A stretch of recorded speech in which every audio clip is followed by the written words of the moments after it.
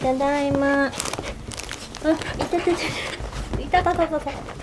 歓迎と受け取っていいのそれは。元気ちゃん。ふうやばい。暑い。暑い。皆さんこんばんは。りさです。ということでですね。はい。ついに今日2回目の接種に行ってきたんですよ。ワクチンの。2回目だったからかな。なんかすごい空いてたわ。すごい空いてた。10分ぐらいかな。でバーって全部打つまで終わって。であ、まあ、15分待つから。全部で30分ぐらいだったかな。早かったすごい。で私お姉ちゃんとかお父さんお母さんとか先に打ってたんですけど。なんかやっぱみんな結構熱出てしんどかったって言ってたので。もう常にねいつどうなってもいいように備えてるので。はい。特に不安はないですが今んとこまずスタートが6度3分なんではい。ここから上がってくのかどうかわかんないけど水分はね普段より多く飲むように気をつけようかなと思います。なんか朝ちょっと胃が痛てってなってたんだけど胃薬飲んだからか元気になってきました。ということでいただきます。うんご飯食べてね落ち着いたらゴミ捨てしたの。なんか前回やった時に結構腕痛くなってきてまあまあ痛いなって思った記憶あったんであんま痛くなんないうちにゴミ捨て溜まってたのをしようと思います。はい。というわけでまあこの後は家でゆっくりしつつもまあちょこまかと、まあ、動画撮ったりは別に腕あんま関係ないからできるし今日めちゃめちゃ天気いいから大型のものを干したかったりとかもするのでそういうのもやっていこうと思います。物がたくさんありますけれどもどこ？どこ？どこ？って言うとここにはーい前も紹介しました。こちらが入ってるんですよ。え先生イエーイということなのでこちらをね作っとこう。これねすごいの。マジでこれこのまま飲んだら本当に甘すぎてぶっ倒れるかもってぐらい甘いんだけど濃いめで1リットル。すっきり味で2リットルってことなんで。1リットルぐらいので作ったらあまりにも甘かったんで2リットル？このちっちゃい缶で2リットルだしなんか保存にねちっちゃい方がいいかなと思ったの。なんか OS1 とか別に私味も全然すごい好きなんだけどペットボトルの500って結構かさばるんでこれで2リットル分作れるならなんかストックしておけるなと思ってコンビニでも売ってるしはい。私楽天のルームにも載せてるんですけどワクチンの前だからとかワクチン打ったからとかじゃなくて年中ストックしてます。そんなにでもやっぱ賞味期限持たないのかな。1年2年ぐらい持つのかな。はい。そんな感じです。作りますか？普段はガラスの使ってるんですけどあれだと横に対して倒してしまえないんでそうする。今日はこれにする。まあ半分ずつぐらい入れればいいんじゃないかしら。じゃあ伝統芸能。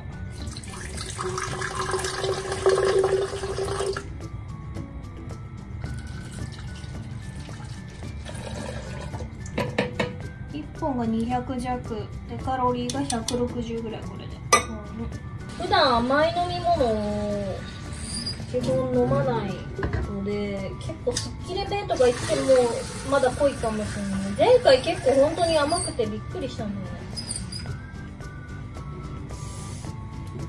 味見しよう。味見してみる。あんま。ちょちょちょちょちょちょちょ。ちょ中学のバレー部の夏の合宿の時ぐらいの甘さだよこれは、うん、結構甘いけど。まあいいでしょ。これ本当にねこんだけ水で薄めてもこんな甘いんですよ。これを作っとけばきっと役に立つだろう熱が出てああの時の自分よくやったっていうのが来ないのが一番いいんだよ信じらんないぐらい寝てたわ。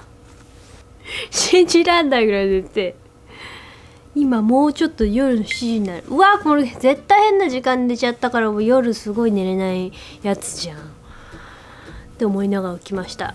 かゆ。今ね起きたらちょっと痛かったね。でもなんか1回目の時よりそんな痛くない気がする。あと腫れ具合で言うとそんな腫れてない。前回のがもっと熱持ってたかな。はい。そんな感じ。なんかワクチンって今まで打ってきたのっていくつかあるけどインフルは全くなんないでしょ？私 B 型肝炎ワクチン打つとすっごいまあでもこれは結構腫れる人多い気がするんだけどめちゃめちゃ腫れてユニフォームがなんか割とこの袖口がさこんな感じでちょっとそんな伸びない素材だった時に結構パツパツでえやばいかも腕がこうやったらもうもう腕パンパンで上がんないかもっていうぐらい結構腫れたりしてたの毎年。毎年打ってたから。B 型肝炎ワクチンほどの腫れは私はないかなって感じ。うまい。意外とにもだってすごい今すごい元気な気持ち。嬉しい。あ熱測ってみようかな。絶対ない。あむらーやってみっか。水分しっかり取らないと。水分しっかり。犬も。今日は熱中症になった犬もいると思うよ。6度7 6度7だ今のところって。うんかまか？あんたリンゴそんな食べなくなかったっけ？食べんだ。うん。もてあそばないでちゃんと食べてよ。もったいないから。よしついに起きたからこれから始動だ。うわーなんか一日もったいなく過ごした気持ちになったけど7時ならまだ取り返せるよね。もうちょっとご飯食べたいなって気持ちあるんだけど最近本当になんか本当に胃が弱くて冷房のシーズンは冷えるとやっぱなんか調子悪くなるなって感じするから体ってだんだん使えなくなってくなっていうか滅びてくなって感じ。がっつり食べようと思えば食べれますよっていう胃のテンション感なんだけどなんか食べると具合が悪くなる気がするんで胃の微調整します。お布団取んないでくんない？お布団取んないでくんない？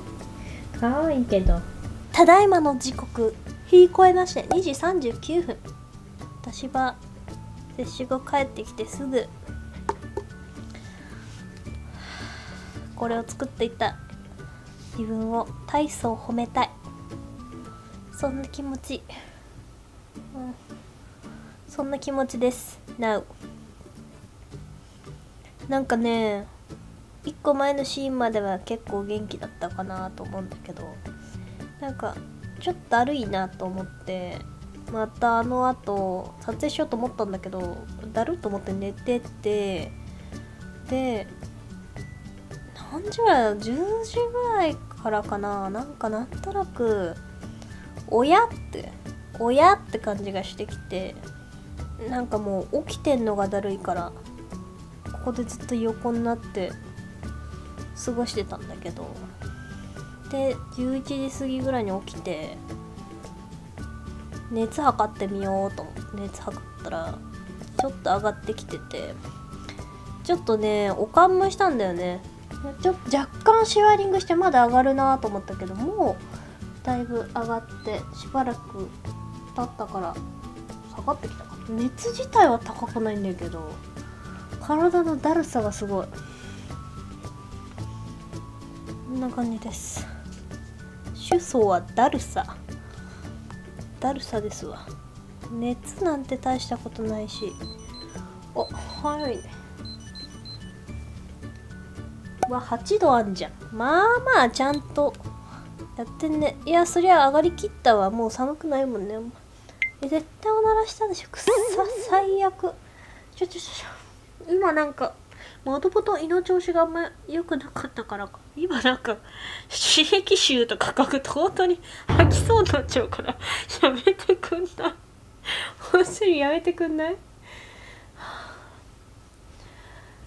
毒ガステロだよ。笑っちゃったでも。なんでこっちにお尻向けてるかな。親しき中に礼儀ありっつってさ。顔の方にお尻向けるかな。ってことで今8度ですね。まあでも私7度台後半ぐらいが一番しんどくてなんかなんだろうだるさもすごいんですけどちょっと8度台まで行くとちょっとだるさましになった。ちょっと前の方が目開けてんのだるいしトイレ行くのもなんかだるいしみたいな感じでもうだるだるのピークだったけど。まあねあの8度は本当によく出るんで別に熱自体に対しては何の感情もないんだけど。いやでもなんか正直なね感想を述べるといやワクチン強ーって思った。今までなんかねワクチン受けてきたことあるけど強く出るものを経験したことなかったからまあなんか腕が腫れるぐらい。B 型肝炎ってすごい腕が腫れて熱感があってなんかっていうのぐらいだったからこんな出るかねと思って正直なんかびっくりしちゃった。話には聞いてたけどあーなんか年齢はほんと関係なく副反応出んだなってしみじみ思ったのが感想かな。なんか漏れなく漏れなくみんななんか熱は出てるよね。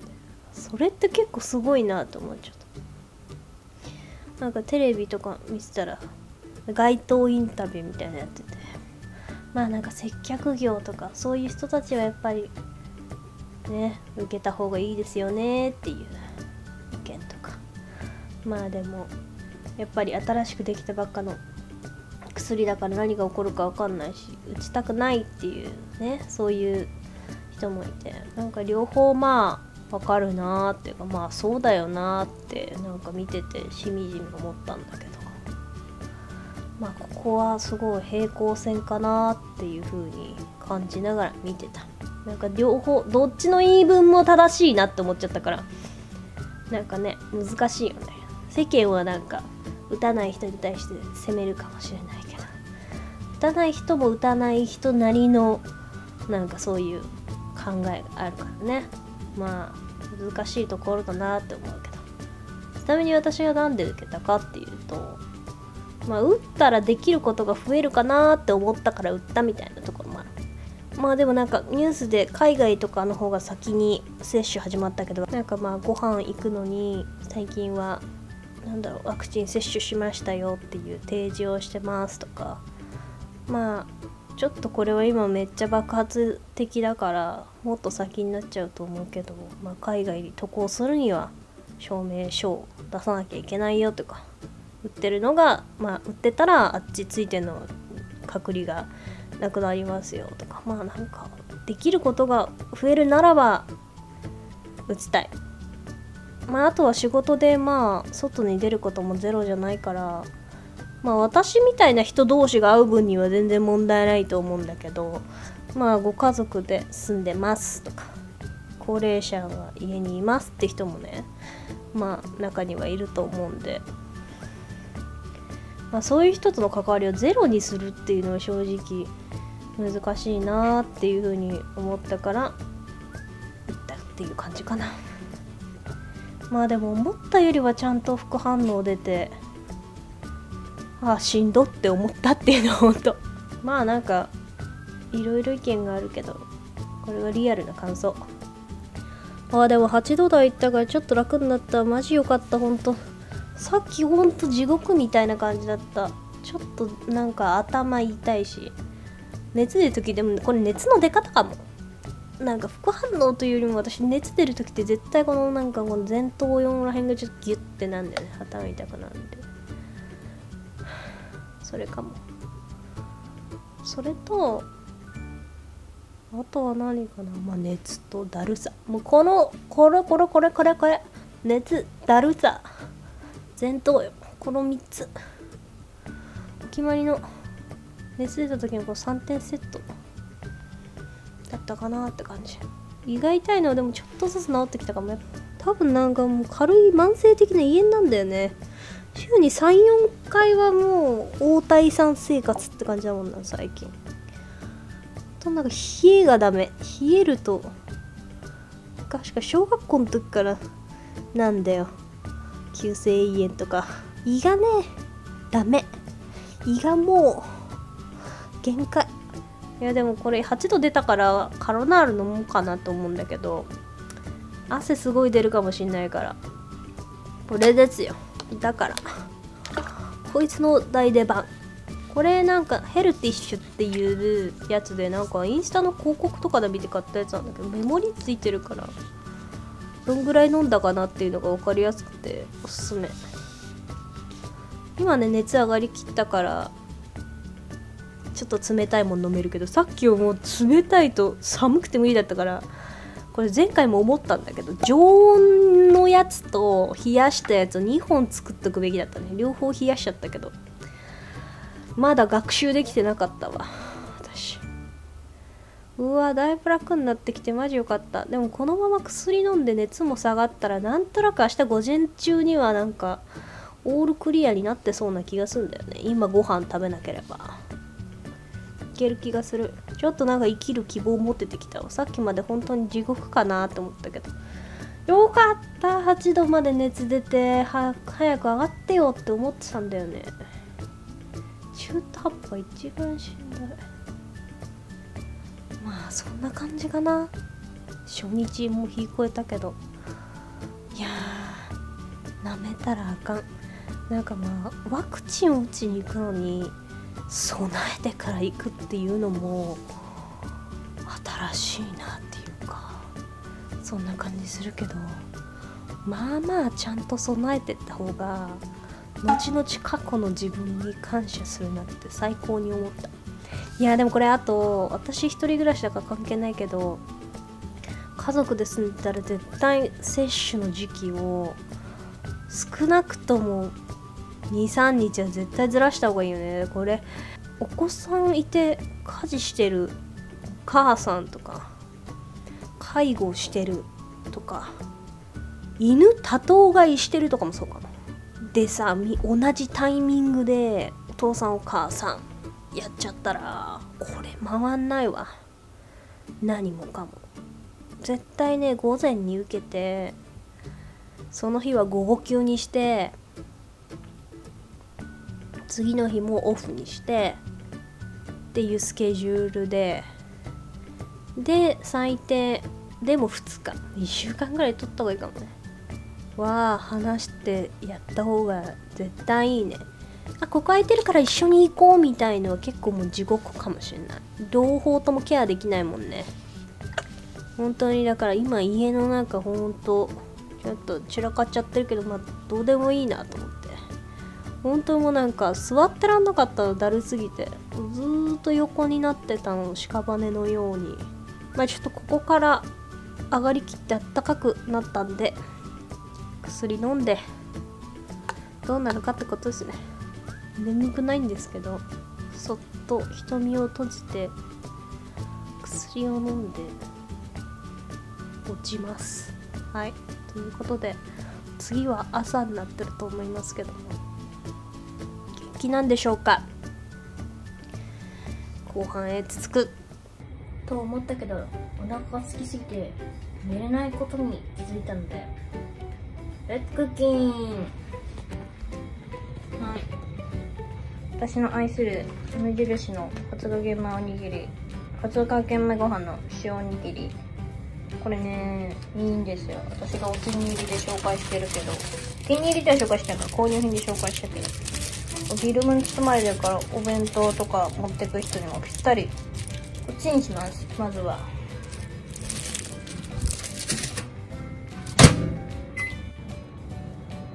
いその間にやることがあります。私急に降ってきました。何が食べたいか。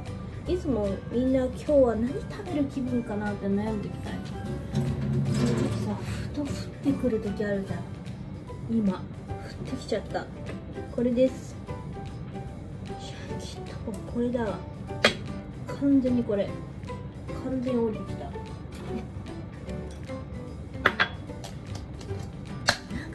が食べたくなるかわかんないんだよねなんか具合悪くなった時ってさこの前はみかん食べたかったし今回は何を作るかというとこの前おにぎりがどうしても食べたいの今。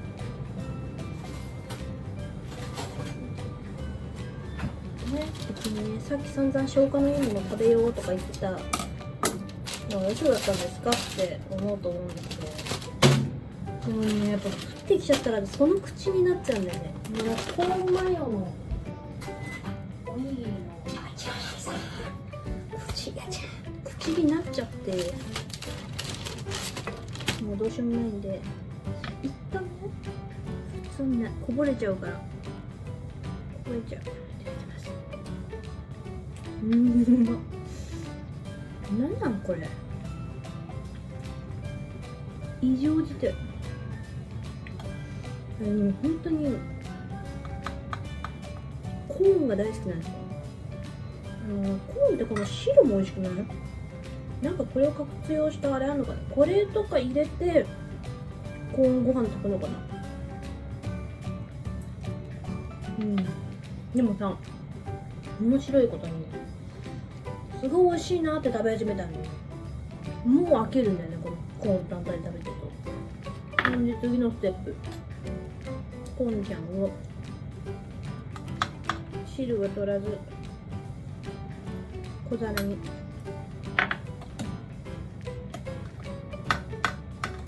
マヨネーズをぐるぐるします。正直私は体に悪い食べ物が大好きです。大好き。添加物がたっぷり入った食べ物がつらい。もう添加物に毒されてるから。添加物ないものもうまいよ。ないものもうまいと思うんだけど。コンビニの弁当とかおにぎりとか。もうなんか冷凍食品加工食品。大好き。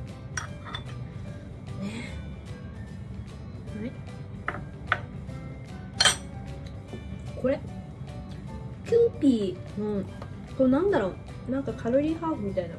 自動とこれキャップで分かる人いるね。多分ピュアセレクト。ハーフ。ハーフよりやっぱりピュアセレクトの方が美味しいんだけどコンビニのコーンマヨおにぎりのマヨはこういう味する。であえらい。これ前紹介したけどこのコントビの海苔テラうまい。これは本当に。テラテラです。5テラバイトぐらい。ハードディスクの容量でいうと5テラバイトぐらいのもの。たたたたこれをね巻くの。コントビこの海苔との出会いはですねお寿司屋さんだったんですけどなんかお土産でいただいたの。で私無類の海苔好きなんですけどえやめな何やってんの？ごめんわかんじゃないよ。無類のねあの海苔好きなんですけどこれ食べてすごい美味しかったから自分でネットで買ったんですよね。でこの本飛びさんのやついろいろあるんですけどあの何月何日に焼き上がった海苔ですみたいな感じで販売してくれるので新海苔が食べれます。おはようございます重いね。君。重い。重い。今日も元気だね。あついてて。はいそしたら。そしたら。はい。こういうの大好き。本当にね。意識高い人たちからしたらもう何やってんの？血迷ってんの？ってもしかしたら言われちゃうかもしれないけど。私は私は本当にこういうものが大好きなんです。もう死ぬから最後に何食べたいって聞かれたら本当にジャンクフード食いたいです。インスタントラーメンとか食べたいです。好きなんだよねたくさん美味しいものも食べてきたんだけどなんかやっぱまんちゃんソース焼きそばとか札幌一番とか好きなんだ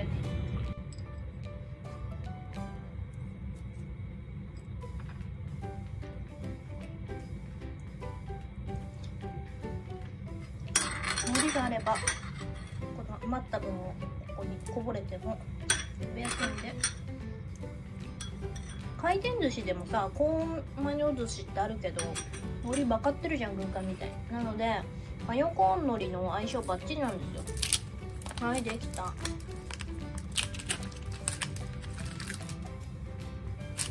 いこれ食べよう。あもうぐちょぐちょさあもうね信じられないぐらい海苔のいい匂いする。これはねもはやコーンマヨおにぎりと見せかけた海苔メインですわ。いただきます。うまっ。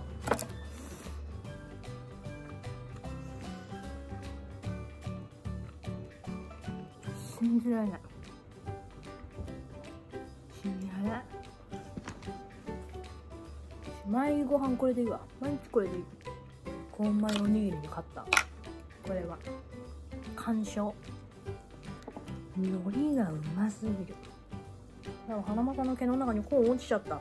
そしてもっとコーンこれ以上でも海苔で包むとちょっと違くなっちゃう。んだよな内面すぎちゃう。もう本当にこのコントビはとんでもなくうまい。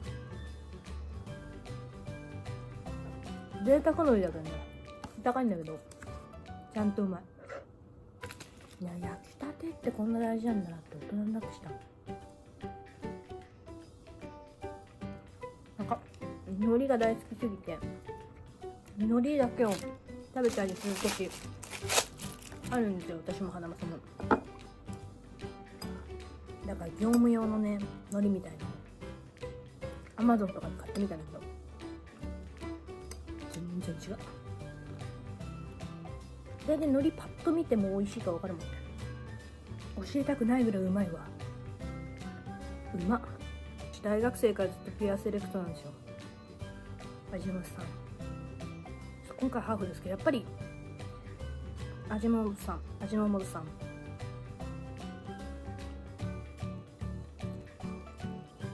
クのピュアセレクトのハーフはゴマヨおにぎりにめちゃ向いてます。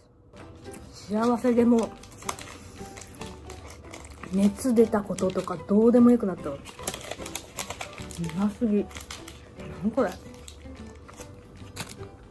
美味しいでしょ。天才シェフだ。花間探したてこぼしたコーン狙ってずっとここにいんだよ。それやめなさい。あんたは。よろしくない。お手しないの？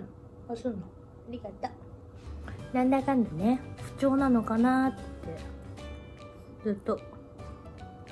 近くで言ってくれましたね。うん。なんかなんとやっぱ犬って察する力すごいなと思うんだけど。犬と付き合えば全女子はなんか不満ないんだろうなって思うぐらい。犬を彼氏にしたら不満ないんだろうなっていうぐらい犬ってなんか空気とか察せるよね。男性に犬みたいなスキルがあったら多分ねパーフェクトだと思うっていうぐらいなんか。ちょっとなんか元気なさそうだなみたいな感じで。別に何してくれるわけじゃないんですけど寄り添ってましたね先生。次はじゃあちょうど24時間後の12時にどうなってるのかなっていうのをお伝えしたいと思います。おはようございます。積んだんだわ。これ積みました。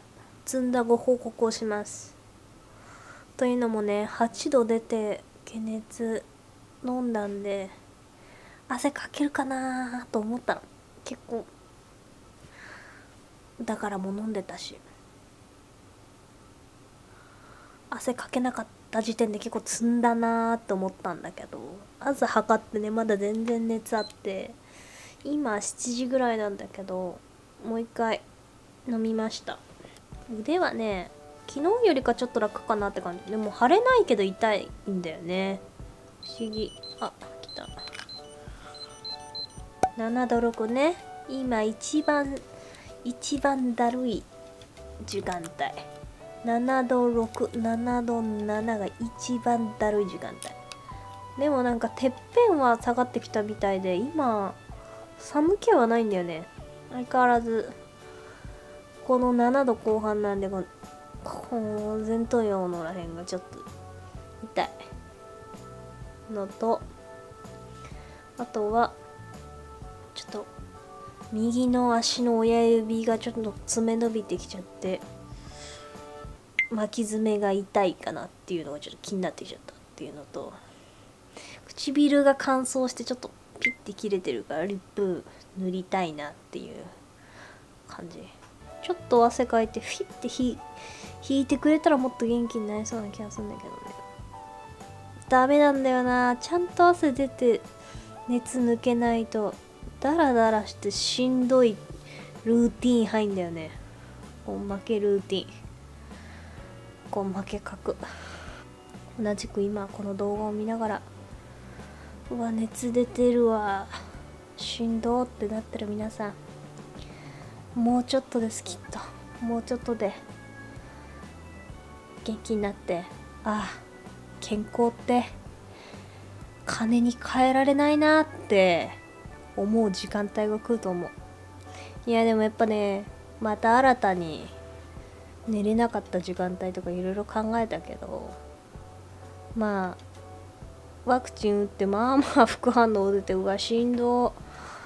まあ積極的に受けたくはないよなっていう気持ちも起きたけどでもまあ本当にもしなんか肺炎悪化とかになって家で一人でさらにねまあ特に一人暮らし誰もいなくて呼吸苦しいってなったら絶対どんだけねどんだけしっかりしてて普段落ち着いてる人でもね絶対テンパると思うんだよね。やっぱ息ができないって苦しいからさ特にそれは夜だとすごい不安になるしね。なんか自分が16の時入院したことあるけどオペで。やっぱなんか昼間は明るいし人の喋り声が聞こえたり物音がするから元気だけど夜なんか電気が消えて暗くなるって静かになると一気になんかねちょっと精神的に不安定になったり不安な気持ちが出てきたりとかするもんだなっていうのをなんか思い出したりとかしてて別にそこまで夜しんどかったわけじゃないけどなんか悩み事は夜するなって言ったりもするじゃん。ねなのでちょっとだるさはかなりあって正直ちょっとしんどいな。ちゃんとしんどかったなって思ったとこもあったけどまあこれでかかりにくくなるのであればまあ耐えられる範囲ないかな。っては思った。そのね。もしなんか重症化したりとか実際にかかった時とかのことを考えるとねっていうのが Day22 日目の朝7時の感想。次はねお昼に撮りますなんて言ってて。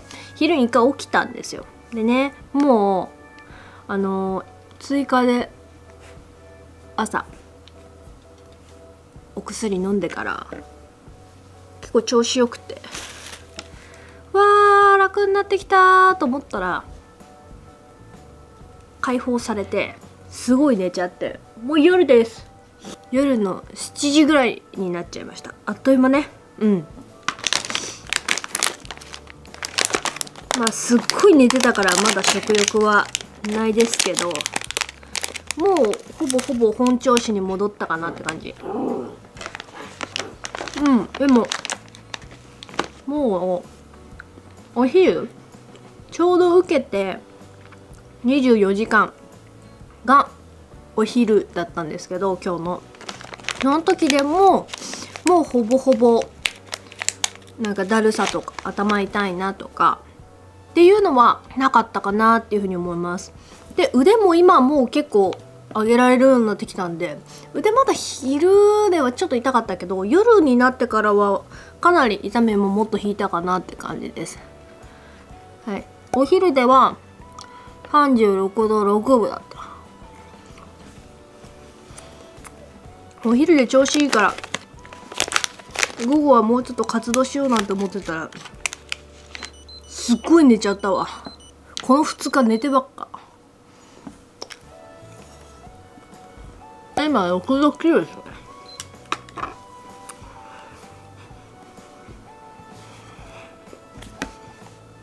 分かった。ワクチンの感じが分かりました。接種して。3時間4時間ぐらいから打ったとこがちょっと痛いなって感じになってきて熱度は9時間。10時間それぐらいしてから出てきたんでそこからがちょっと辛かったかな。接種11時間後から。24時間までの間。半日分ぐらいかな。が勝負かなって感じした。本当に何事もなかったかのように今はすっきりねしてるから不思議だねって思うんだけどこんな感じでした。いやでも本当にちゃんと備えててよかったなっていうのは思った。うん。8度まで出るとはね、うん、今後どうなっていくのかわかんないけどまあでも抗体もねずっと持つわけじゃないからまた。ね。結構時期空いてきたら抗体もどんどん減ってくるかなってなると。また受けなきゃいけなくなるのかもだけど。先のことが分かんないけど。まあその時になってみないと分かんないね。できれば1回がいいけどなとは思うけど。まだ本当に何もよく分かんないけど。なんか誰も何にもよく分かんないよね。多分みんな分かんないとは思うんだけど。まあとりあえず。まあね一旦は終わって。なんとなく。終わった感があって。はい。よかったかなと思います。まあ丸々一日。休める時間を取っておけば。んじゃないかなって思ったんで今ねもしかしたら今ちょうど熱出てるよって人とかこれから受けるよって人もいると思うんですけどちょっとなんか時間の余裕とかあと飲み物とかはなんかちょっとあると楽かもしれないです。はいというわけで今回はワクチン接種後の Vlog でした。最後まで見てくれてありがとうございました。ではまた次のビデオでお会いしましょう。バイバイ。